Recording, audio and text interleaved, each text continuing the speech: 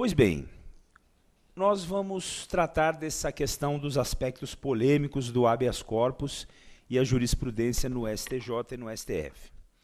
É óbvio que sabemos que o habeas corpus é um instrumento de cidadania. Certamente na nossa, no nosso ordenamento jurídico é o instrumento que mais é, se aproxima daquilo que se possa chamar de liberdade na medida em que uma das suas mais fundamentais características é a de que ele pode ser manejado por qualquer pessoa, né? Não há necessidade, não há necessidade de que seja advogado.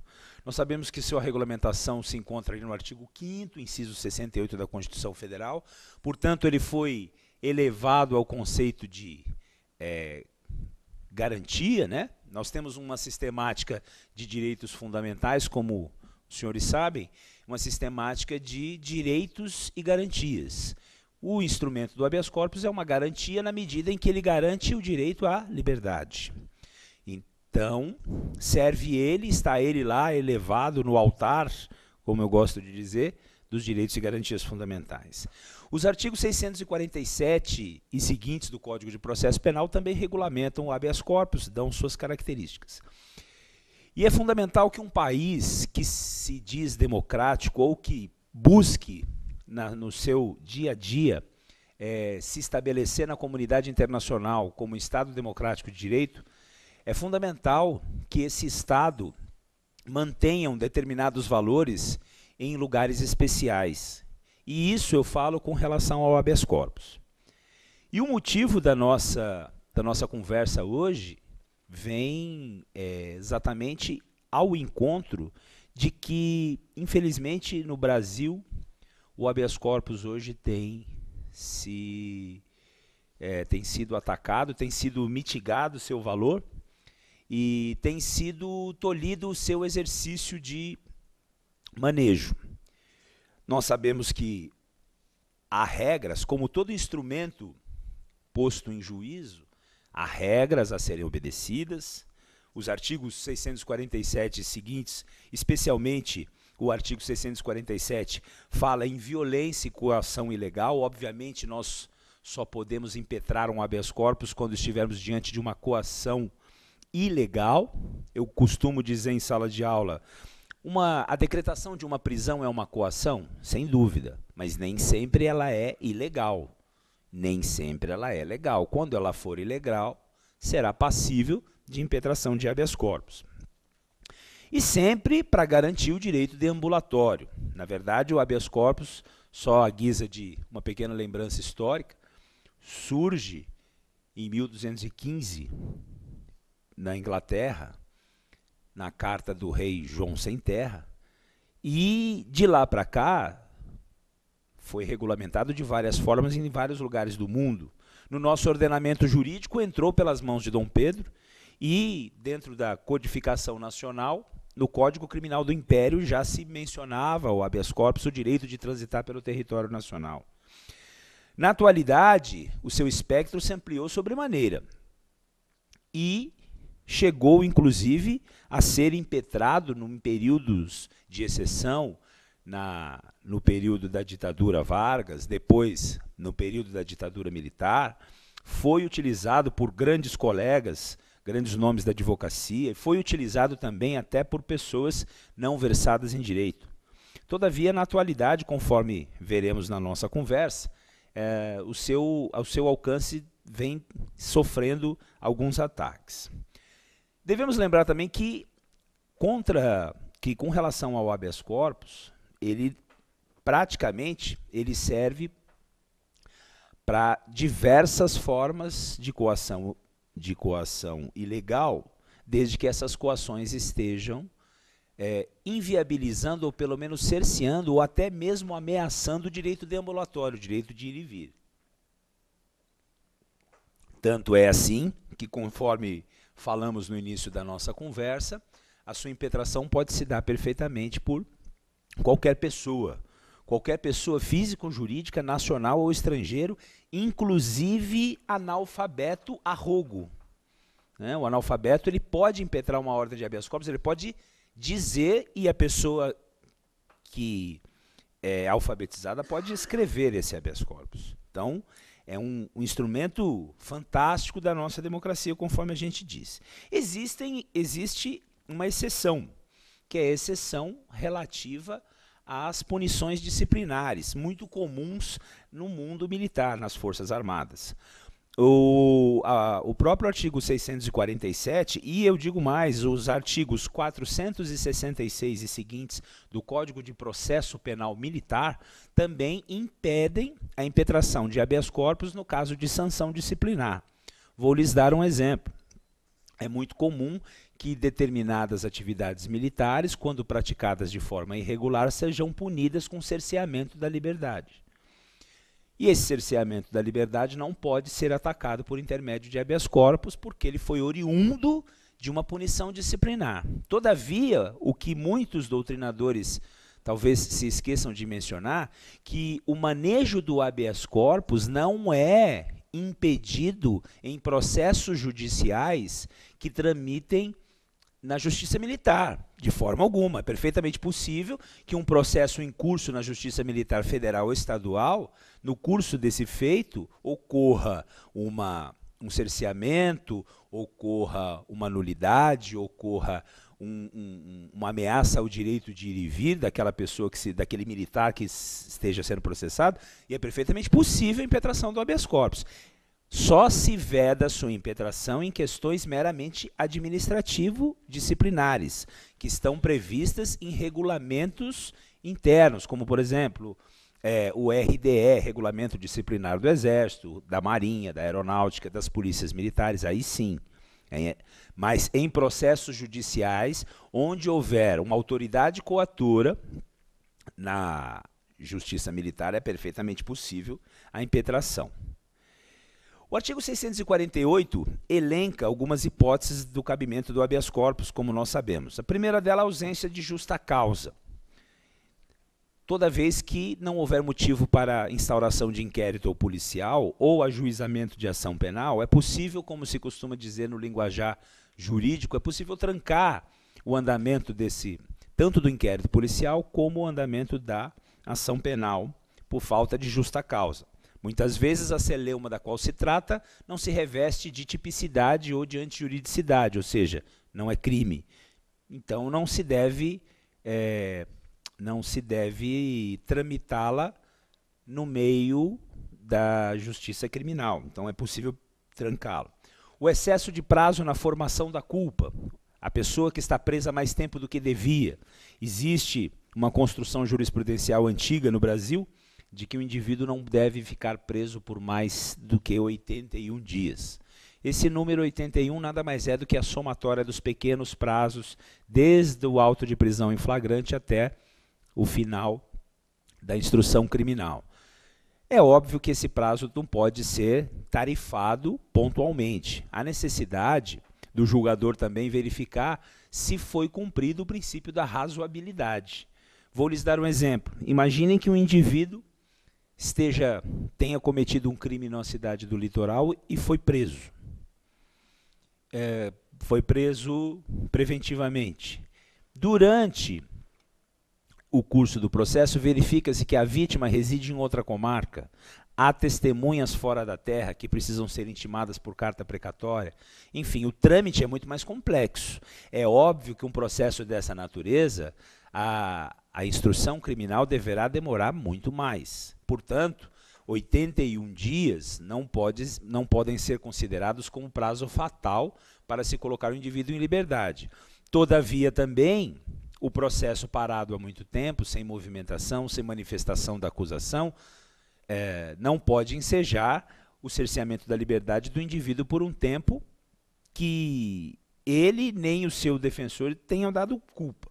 Então é importante que quando se verifica o excesso de prazo na formação da culpa, em, se tratando de matéria é, atacável por habeas corpus, é fundamental que se observe essa razoabilidade.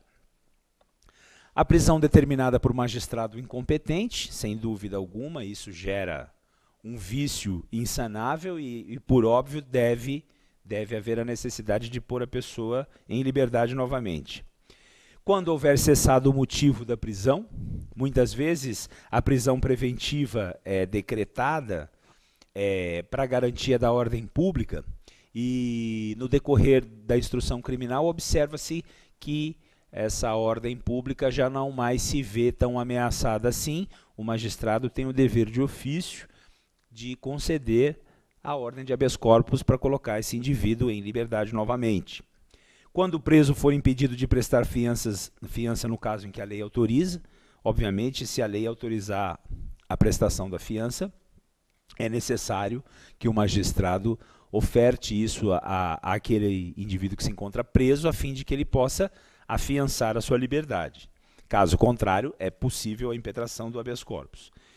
Quando o processo for manifestamente nulo, essa, essa hipótese, obviamente, é, é, dispensa maiores comentários, posto que a nulidade, como sabemos, principalmente em se tratando de nulidade absoluta, é vício insanável. Se é vício insanável, é fundamental que aquela pessoa que se encontra presa por conta daquele processo seja posta em liberdade. Eu me recordo de uma de uma situação em que eu atuei, onde houve uma, uma, um enxeco, houve uma falha, uma nulidade, no que se refere à intimação do antigo advogado. Ou seja, o indivíduo foi processado por homicídio qualificado, com duas qualificadoras, foi preso, foi condenado e resolveu apelar. Na ocasião, era, era defendido por uma colega, uma defensora é, conveniada com a Defensoria Pública, uma advogada por intermédio de, do convênio que nós conhecemos.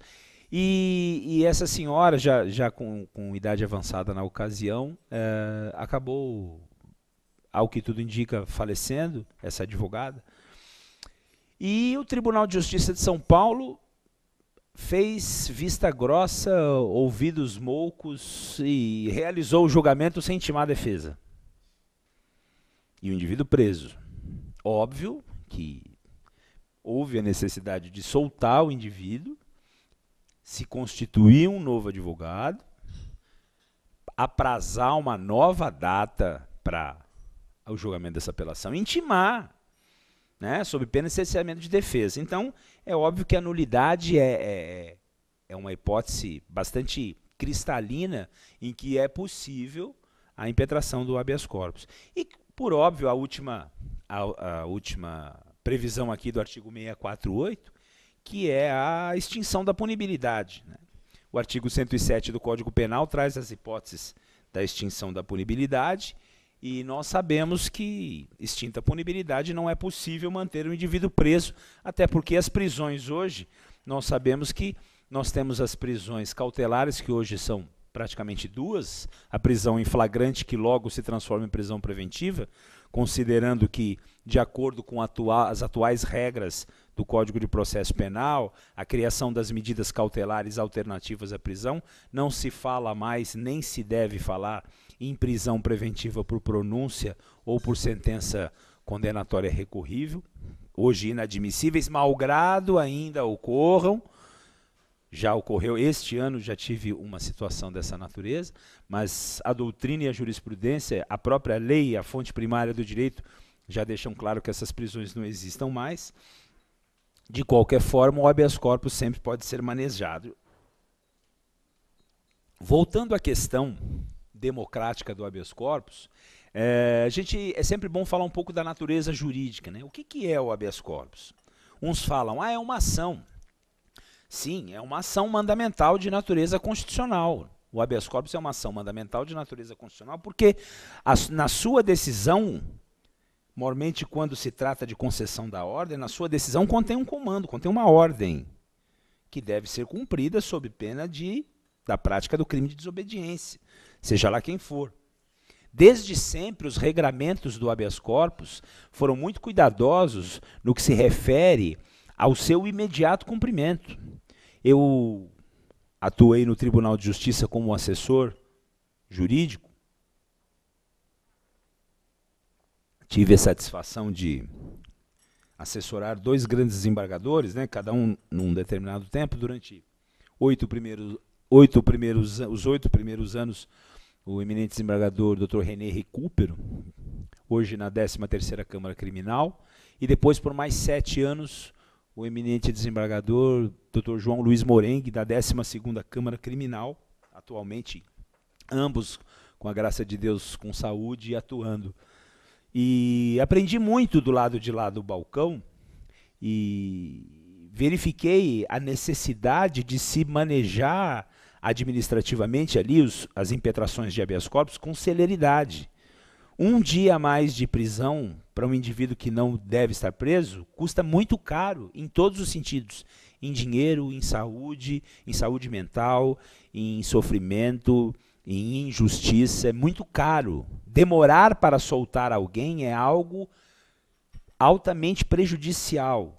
E isso eu vos concito a lembrar os colegas, os acadêmicos que logo estarão na lide da advocacia ah, no dia a dia, nunca tirem isso de, su de suas mentes, de seus corações.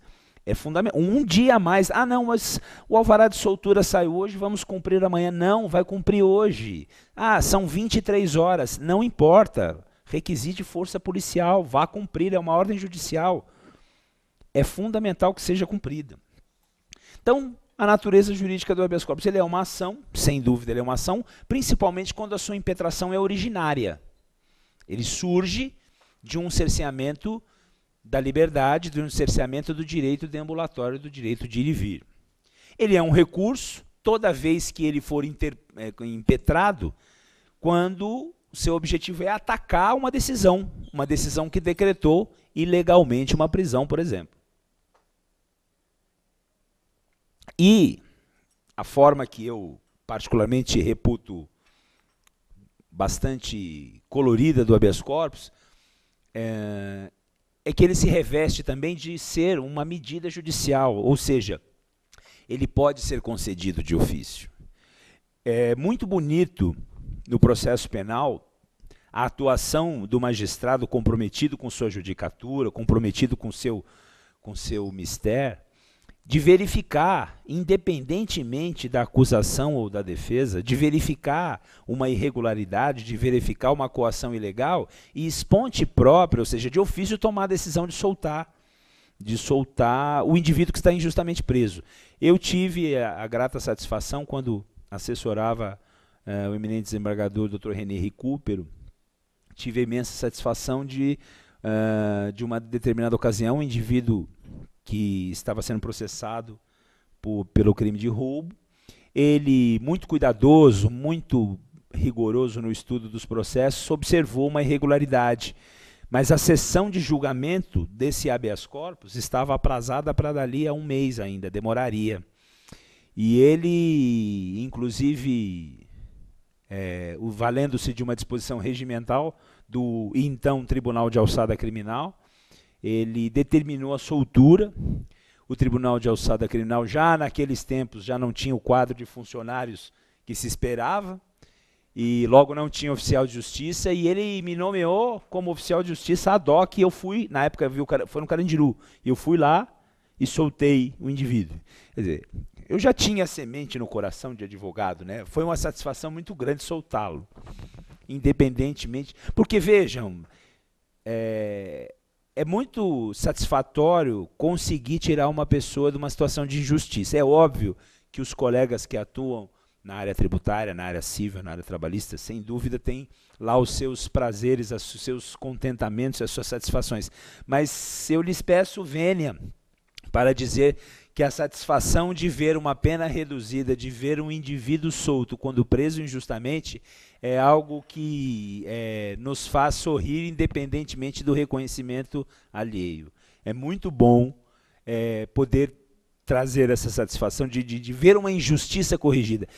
É, eu digo isso não, não que a, a, nossa injustiça, quando ocorra na área criminal, seja mais valiosa do que nas demais áreas do direito, mas é porque ela é, ela é palpável, né? ela é física, ela, ela diz respeito ao corpo. Então ela é mais visível. É óbvio que um tributo mal cobrado, quando corrigido também, quando uma injustiça contratual, uma injustiça trabalhista, quando se vê corrigida, eu tenho certeza absoluta que os colegas é, sentem uma satisfação imensa em, em corrigi-la. Mas é que no crime é, é, é, algo até mais, mais grotesco, eu diria, né? Ele é mais palpável, ele é mais humano, né? Então acaba sendo mais sensível. E, e quando a gente observa que um magistrado tem essa sensibilidade, que é um indivíduo vocacionado, que é um indivíduo que se inclina e se debruça com afinco ao estudo dos processos, e eu vos digo porque estive lá por 15 anos, conforme disse, é uma, uma tarefa em glória. Eu mesmo levava processos para casa para auxiliar no julgamento, elaboração dos votos, é realmente bastante. É, é satisfatório, não tão como a advocacia. Eu posso lhes dizer. Tanto que abandonei a segurança do serviço público para, para retornar à advocacia privada. A satisfação pessoal, muitos não entendem, poxa, mas você era um funcionário. Não, mas a satisfação da defesa, mormente, na, para mim, na defesa criminal, é algo que, que me encanta, que me apaixona. Superada a questão da natureza jurídica, nós já havíamos falado da legitimidade da impetração, e agora já passando uma, tendo passado uma vista de olhos aí, longe de querer transformar essa nossa conversa numa aula, obviamente tenho certeza absoluta que até o presente momento estou aqui, como se diz popularmente, chovendo no molhado, porque vossas excelências conhecem bem o habeas corpus, as possibilidades de impetração e tudo. Mas eu, eu fiz esse rápido é, passeio sobre as características do habeas corpus, exatamente para chegar nesse ponto nevrálgico que é algo que me que me toca especialmente, não só porque atuo na advocacia e sofro com essas essas divergências jurisprudenciais, essas alterações que estão se procedendo agora, mas também como professor, porque me vejo no dever de ofício de informar ao meu aluno uh, o que está ocorrendo e dizer a ele que daqui a pouco ele vai ter que enfrentar essas feras que estão aí fora e vai ter que enfrentar de cabeça erguida. E aí eu posso falar das decisões que são possíveis dentro do habeas corpus. A concessão da ordem, quando se concede o pedido formulado para que se liberte a pessoa injustamente presa. A denegação da ordem, que é exatamente o contrário, ou seja, o órgão julgador não entende que há uma coação que impeça o exercício do direito deambulatório, e o julgamento prejudicado. O que é o julgamento prejudicado? De acordo com o artigo 659 do Código de Processo Penal, o julgamento do habeas corpus se, se, é, se vê prejudicado quando aquilo que se pleiteia, quando chega na mão daquele que pode decidir, já foi obtido. Por exemplo, formula o pedido de liberdade provisória em favor de alguém que está preso em decorrência de um processo penal. Meu pedido é negado, automaticamente reúno a documentação, instruo um pedido de habeas corpus para o grau superior, para o tribunal. E antes do tribunal apreciar o meu pedido, eu formulo um pedido de reconsideração para o juízo de primeiro grau. E o juízo de primeiro grau resolve reconsiderar e concede a liberdade provisória. Obviamente, quando esse habeas corpus chegar no, na instância superior e a instância superior for, for informada que a ordem, que, que o indivíduo já se encontra em liberdade, o julgamento é tido como prejudicado. Agora, o ponto que nos toca muito mais especialmente é o julgamento, que inclusive faz parte do, da fase da prelibação do, do habeas corpus, que é o não conhecimento do pedido. O não conhecimento do pedido ocorre quando a impetração é o instrumento inadequado, ocorre quando a impetração está mal formulada, ocorre quando existem recursos de outra natureza que podem ser impetrados. Inclusive, esta gloriosa casa nossa a Ordem dos Advogados do Brasil, certamente professor Zakimi, Dr. Wagner vão se lembrar dessa oportunidade, é, em exames da OAB teve uma certa dificuldade de lidar com essa questão do habeas corpus, porque há alguns anos era muito comum que na segunda fase do exame da ordem as, uh, as peças recaíssem em habeas corpus. Eu me recordo quando prestei meu exame, aliás, eu prestei meu exame, foi o último que teve o exame oral. Outro dia, 95, 1995. E eu me recordo perfeitamente que todo mundo falava, não, na dúvida, impetrem um habeas corpus. A Ordem dos Advogados do Brasil, muito atenta a isso, falou, não, não podemos... Então, quando for apelação, precisa ser apelação. Quando for recurso em sentido estrito, precisa ser recurso em sentido estrito.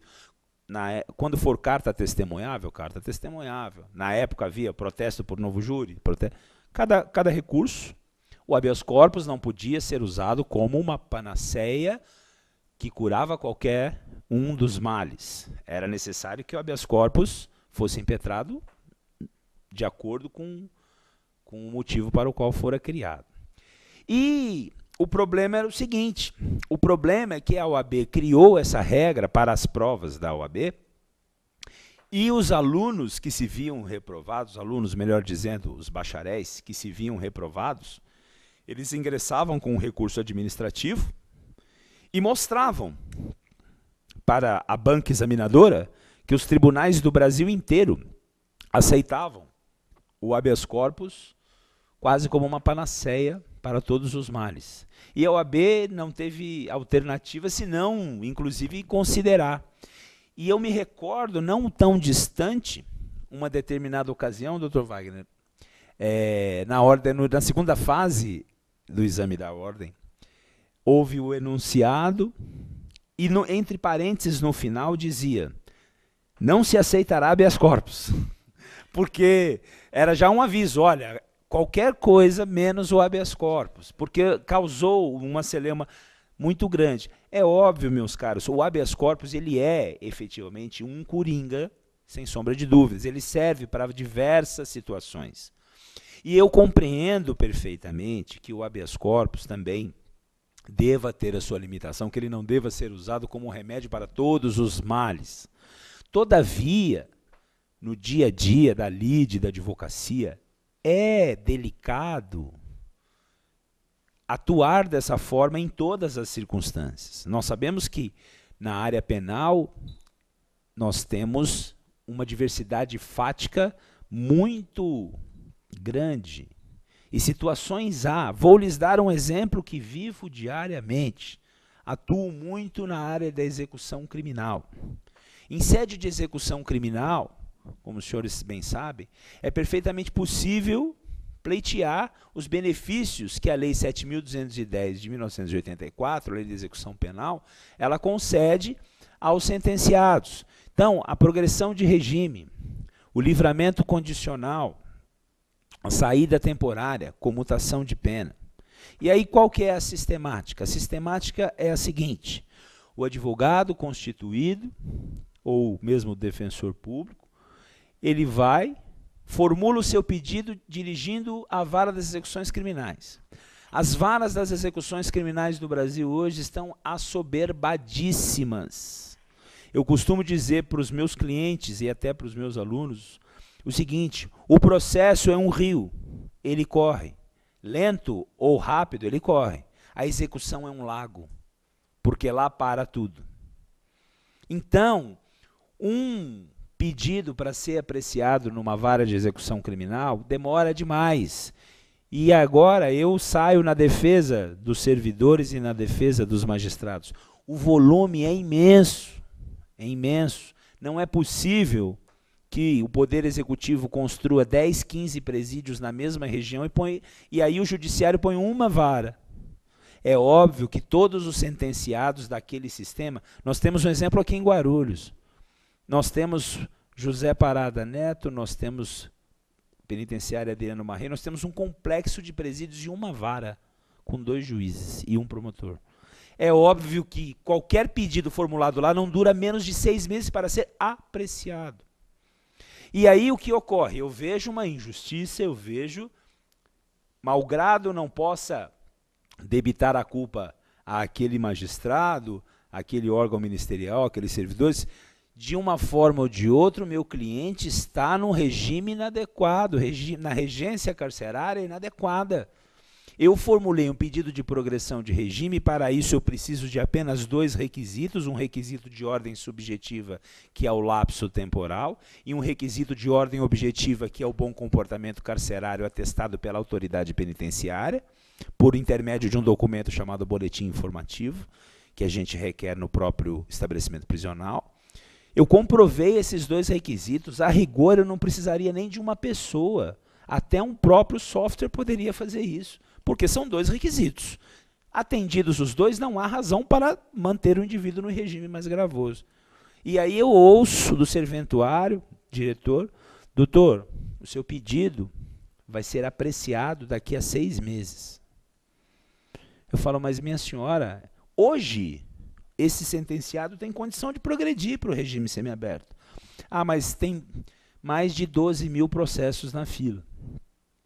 O que que eu, como advogado comprometido com os interesses do meu cliente e com a realização da justiça, o que que eu vou fazer?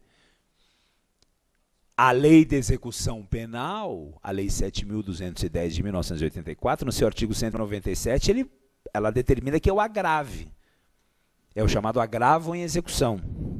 Um agravo em execução é, tirado no Tribunal de Justiça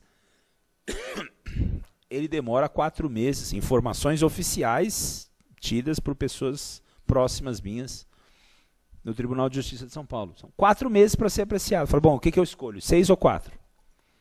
Não, nenhum e nem outro. Eu vou impetrar uma ordem de habeas corpus, porque é constrangimento ilegal. Essa demora é constrangimento ilegal. Muitos julgados repelem isso, dizendo que existe recurso próprio dizendo que existe a via própria. Inclusive, uma frase que eles gostam muito, doutor Wagner, é, é, é a via inadequada, o habeas corpus é a via inadequada. Sim, do ponto de vista formal, legal, ela é inadequada.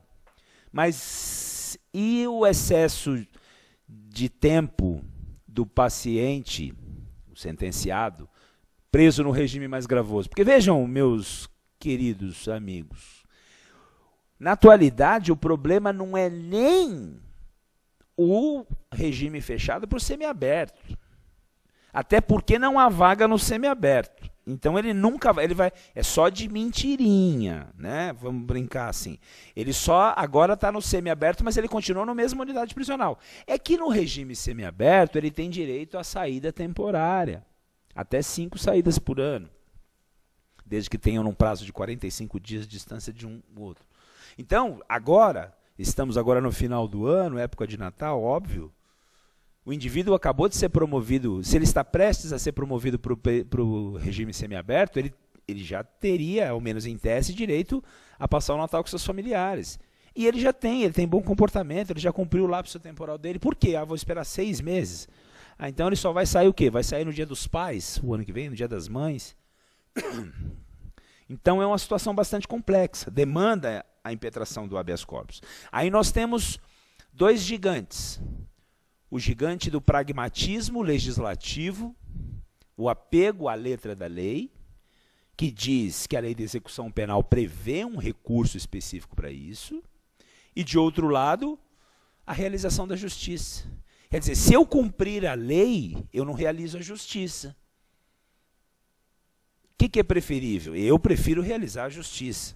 Óbvio, com todo respeito às opiniões divergentes, sem dúvida nenhuma.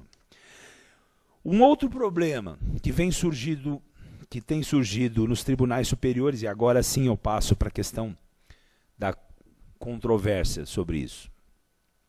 Uh, não foram e não são poucos os casos em que o defensor, de que o impetrante do habeas corpus, ele bate na porta da primeira instância, é, recebe uma negativa. Sobe para a segunda instância, idem. Chega no Superior Tribunal de Justiça, idem. E assim vai até chegar no Supremo Tribunal Federal. Sempre foi comum, impetra formula-se um pedido de liberdade na primeira instância, ele é negado. Impetra-se uma ordem de habeas corpus na segunda instância, ela é negada. Impetra-se no STJ, ela é negada. E assim vai.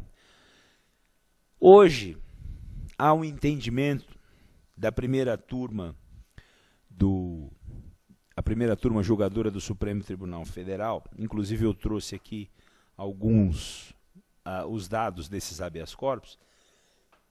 Inclusive eu destaquei aqui da relatoria do ministro Marco Aurélio o habeas corpus número 109956 do Paraná.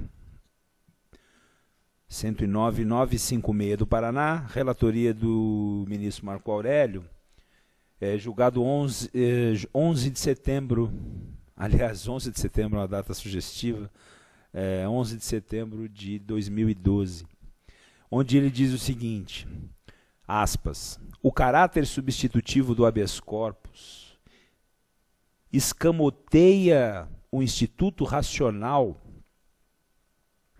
aliás, escamoteia o instituto recursal e burla o preceito constitucional na medida em que inviabiliza o manejo de outros recursos. O que ele quis dizer com isso? Ora, se a lei prevê outros recursos, por que, que eu vou aceitar o habeas corpus? E sob esse, esse fundamento, não conhece do pedido, não conhece da impetração. Ocorre, meus caros, sem dúvida nenhuma. O artigo 102, inciso 2, a linha A da Constituição Federal, ao lado do artigo 105, inciso 2, a linha A o 102 voltado ao STF, o 105 voltado ao STJ, é óbvio que lá estão presentes os regulamentos, as possibilidades do recurso de habeas corpus, do recurso ordinário constitucional, é, carinhosamente chamada por nós de ROC, né? Existe essa possibilidade. Então, o que que os tribunais querem? O que que os tribunais superiores... Ah, digo mais. Citei aqui um aresto do eminente ministro Marco Aurélio. Também tem um outro que vai mais a fundo, que é o, HC 104045 do Rio de Janeiro, também da primeira turma, relatora Rosa Weber, julgado dia 6 de, do 9 de 2012. E o e do STJ, o HC 24, é, 245731, do Mato Grosso do Sul, da quinta turma, do eminente ministro, da relatoria do eminente ministro Jorge Mussi, julgado no dia 24 de setembro de 2012, é, todos eles no mesmo sentido, dizendo que quando houver recurso cabível, se for possível recorrer é, ordinariamente, os chamados ROs, se for possível recorrer ordinariamente, é, eu não conheço da impetração do habeas corpus. Pois bem, Parece-nos, num primeiro momento, que esses julgadores estão seguindo a lei. Malgrado, talvez, um pouco pragmáticos, um pouco legalistas, esquecendo-se um pouco mais da justiça, se apegando à lei. É, tudo bem. Só que tem um detalhe. Nós não podemos nos esquecer que o habeas corpus, como já disse aqui por mais de uma vez, o habeas corpus se caracteriza como instrumento da democracia. Como instrumento da democracia, em todo o arcabouço jurídico pátrio, é o único instrumento que pode ser manejado por quem não possui capacidade postulatória, ou seja, por quem não é advogado regularmente inscrito nos quadros da Ordem dos Advogados do Brasil. Lógico que nós, advogados, é, por uma questão natural, temos formação aprimorada para impetrar esse instrumento. É muito óbvio também que uma pessoa não versada em direito, muito provavelmente não, não consiga expor a situação de fato e de direito que deve ser exposta numa impetração dessa. Mas retirar isso da sociedade, olha que quem fala isso é um advogado. Poderia até ter um discurso diverso em decorrência de reserva de mercado, mas não, antes de qualquer coisa, a justiça, A liberdade está acima disso tudo.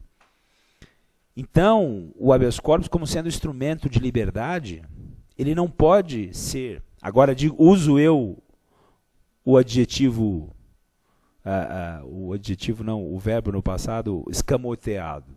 Ele não pode ser colocado no segundo plano. Aí os senhores poderiam falar, mas por que segundo plano? Sim. Imaginem os senhores que eu seja uma pessoa leiga, não sou advogado. Uma eventualmente uma pessoa da minha relação foi presa, eu faço uma carta e chamo essa carta de habeas corpus. E o juiz vê essa carta, ele nega. O que, que eu faria? vou pesquisar. Hoje vivemos a sociedade da informação, não é difícil de encontrar. Vou pesquisar, escrevo outra carta para o desembargador. O desembargador nega. Pede informações, aquele trâmite normal nega. Aí eu escrevo outra carta. Veja, eu sou um cidadão comum. Eu tenho o direito de impetrar habeas corpus em meu favor. Muitos sentenciados fazem isso, os senhores sabem. Eu tenho o direito de impetrar o habeas corpus em meu favor e tenho o direito de impetrar em favor de terceiros. Aí eu escrevo uma carta para o ministro do STJ. Muitos presos escrevem. E eu vou lhes dizer: os tribunais superiores são mais céleres na resposta a esses pedidos do que o próprio Tribunal Bandeirante. Pois bem, e vou até o Supremo Tribunal Federal, se preciso for, com essa carta que será recebida lá como habeas corpus. De acordo, agora, de acordo com esse entendimento que surgiu na primeira turma do Supremo Tribunal Federal, de que não se pode aceitar habeas corpus originário se houver possibilidade de recorrer do anterior, eu cerceio a atuação do cidadão a uma única vez. Porque voltemos na, no exemplo em que eu seja um mero cidadão e não sou advogado. Fiz a carta, o juiz indeferiu. Não posso fazer mais nada. Preciso de um advogado. Porque agora, para recorrer, para impetrar o habeas corpus, qualquer pessoa pode ser, mas para, para recorrer do habeas corpus, para recorrer é, por meio de recurso ordinário, eu preciso de um advogado. Então, eu cerceio esse eu cerceio o espectro de alcance da medida, do instrumento. Eu tiro liberdade de um instrumento que busca liberdade. Eu tiro democracia de uma arma poderosa, inserta na Constituição Federal, ali no artigo 5 inciso 68. Eu tiro da cidadania um instrumento. Aí pergunta-se, por quê? Até então, o Supremo Tribunal Federal e o Superior Tribunal de Justiça vinham julgando os habeas corpus originários que lá chegavam. Será que o objetivo é reduzir o número de recursos? Sim. Não tenho vergonha de dizer, não tenho nenhum prurido em dizer que sim. O objetivo primaz dos tribunais superiores, todas as alterações que acontecem, a Lei 8.038, que trata dos recursos ao tribunal, aos tribunais superiores, ela é clara, os prazos são reduzidos, é, existe a necessidade do pré-questionamento no STJ, existe a necessidade do pré-questionamento e da repercussão geral no STF. Quer dizer, como se diria de uma forma mais popular, o funil vai ficando cada vez mais estreito. Sem dúvida, eu, eu, eu avalio que o, os tribunais superiores, o próprio pretório excelso, deva realmente julgar aquilo para o qual foi constituído, matéria constitucional, que né, o Supremo Tribunal Federal, defensor da Constituição Federal, e o Superior Tribunal de Justiça, que é o guardião da lei federal.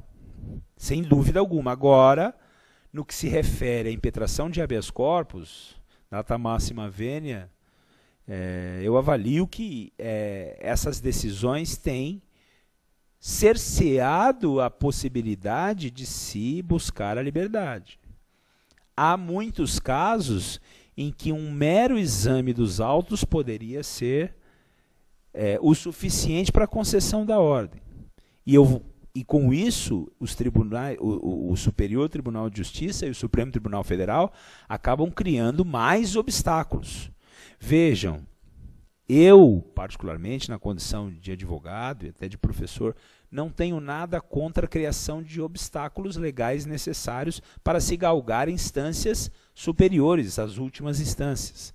Em todos os países do mundo existem pré-requisitos a serem cumpridos para que as causas cheguem à Suprema Corte. Todavia, especialmente no caso do habeas corpus, eu penso de forma divergente na medida em que é o único instrumento em que o cidadão pode pedir alguma coisa ao judiciário sem precisar de alguém que tenha capacidade postulatória, ou seja, sem necessidade de alguém que tenha que seja advogado. E mais, isso faz com que mais injustiças ocorram, pois eu preciso sempre saber se a pessoa está presa de forma ilegal e preciso sempre de alguém que me auxilie, eu, cidadão, de alguém que me auxilie, isso dificulta. Constituir advogado privado hoje é um luxo, poucos podem pagar. Por mais que os honorários estejam por muitos aí é, popularizados. É difícil, nem todos têm condições de custear os honorários de um advogado. Nem a tabela da OAB, que é a tabela que, é, que a ordem nos orienta. De outro lado, as defensorias públicas recém-criadas ainda não conseguem, com seu efetivo, atender a demanda. É muito difícil que um defensor público consiga dar conta de todos os casos então, nós vemos que a sociedade ainda se encontra em defesa. A sociedade ainda se encontra carente também, afora todas as outras carências, ela ainda se encontra carente dessa, dessa, de, dessa pessoa, desse profissional. É óbvio que a defesa em juízo, é óbvio que a possibilidade de interposição de recursos, da, o cuidado deve ser sempre é, realizado por quem conheça, quem, por quem tem a formação técnica. Mas nós, e esse é um ponto de vista meu, obviamente, nós devemos deixar uma fresta, pelo menos um instrumento, para que a sociedade possa lançar mão dele. Eu não tenho dinheiro para pagar advogado, eu não tenho, eu não tenho defensor público na minha cidade, eu não tenho. Mas eu, te, eu ainda posso fazer uma carta ao juiz e chamar isso de habeas corpus. E se ele não me atender, eu vou ao tribunal. E se ele não me atender, eu vou ao superior tribunal. O dinheiro do selo eu ainda tenho. Ainda dá para colocar no correio. Não dá para mandar SEDEX, mas dá para colocar carta comum. Um dia vai chegar em Brasília o meu pedido. Meu filho está preso, ele não tem advogado, não tem defensor público, eu não posso pagar advogado. Então, é, é necessário deixar essa fresta de luz de democracia para a sociedade se valer disso, principalmente para aquele indivíduo que vive em condições de miserabilidade, pelo menos ele, de qualquer lugar desse país. Não sou contra, torno a dizer, não sou contra a, a, aos, aos obstáculos, aos pré-requisitos para que os feitos cheguem aos tribunais superiores. Mas o habeas corpus não. É sagrado. E ele não é sagrado porque ele é sagrado, ele é sagrado porque ele é o único instrumento que o pobre tem. O pobre na acepção mais gramatical possível querem regulamentar o recurso em sentido estrito, a apelação, a necessidade do pré-questionamento no Supremo Tribunal Federal, também da repercussão geral, ótimo. Os advogados são técnicos e eles é que se aprimorem para recorrer cada vez melhor. Tem o filtro do juízo de prelibação do Tribunal Estadual, estadual ou federal, né? no tribunal estadual ou regional, para que o, o, o, recurso, o recurso ordinário, recurso especial, recurso extraordinário suba, sem dúvida. Todos esses, todos esses obstáculos devem existir, mas o habeas corpus não. Exatamente por isso. Porque ele é a marca, ele é a, eu vou mais além, ele é a cicatriz da nossa democracia. E tolher esse tipo de direito, na minha visão, é diminuir o Brasil, diminuir o nosso país, já tão desigual, já tão sofrido, diminuir e retirar-lhe democracia. Por conta disso, é, em conversa com o meu querido amigo professor doutor Alexander Zakimi, que me propôs a palestra, eu resolvi vir ter essa conversa com vocês, exatamente para que nós possamos levar esse tema adiante. Eu digo a vocês, eu mesmo já fui vítima disso. Impetrei uma, uma ordem de habeas corpus aqui no tribunal em São Paulo. Isso foi um ano retrasado. É logo que surgiu. Eu, na ocasião, não tinha. Foi logo em 2012. Foi logo depois dessas decisões aqui. Eu ainda por uma questão, olha, olha como são as coisas, por uma questão de desatualização de uns 20 dias de jurisprudência. Eu impetrei uma ordem de habeas corpus no STJ e tomei um não conhecimento. Tomei um não conhecimento e e aí me, né, a, a, a eminente ministra, ela me lançou diversos julgados, né, porque ela não, conhe não iria conhecer do meu, da minha impetração.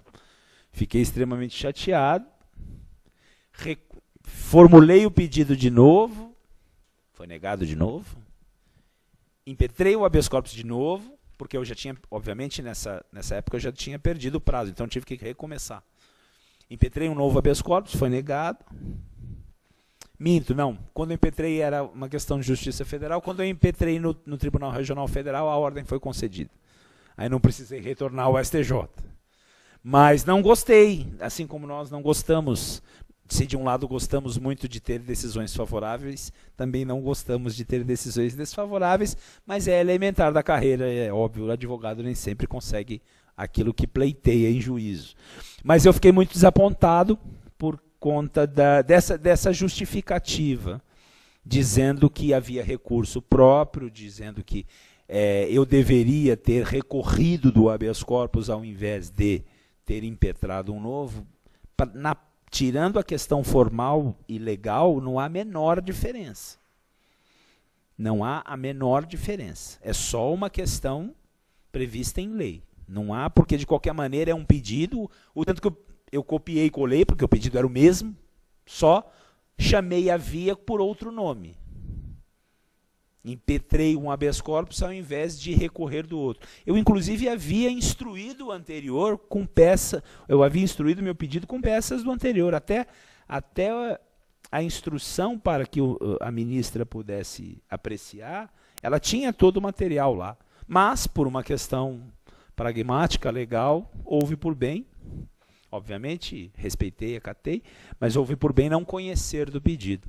Há outras situações também de não conhecimento do pedido, quando pleiteia-se que a justiça tome uma decisão em que ela não, ainda não se manifestou, ou seja, demora. É, é bastante possível impetrar um habeas corpus quando, na primeira instância, por algum motivo o processo não, não tem andamento e, e, o, e o paciente se encontra preso. Então, meus caros, é por essas e outras que eu resolvi aqui roubar-lhes um pouco dessa manhã, desse sábado agora, para plantar pelo menos é, nos amigos aí essa, esse pensamento. Fiquem atentos porque muitas vezes os nossos pedidos não sobem ou por capricho, ou por pragmatismo, ou por legalismo, e precisamos contornar essa situação e, e nos insurgir contra essas manifestações, às vezes burocráticas, é, que não levam, que se de um lado tem a aparência de cumprir a lei, ou melhor, até cumprem a lei, de outro lado, é, cumprem a lei sem realizar a justiça.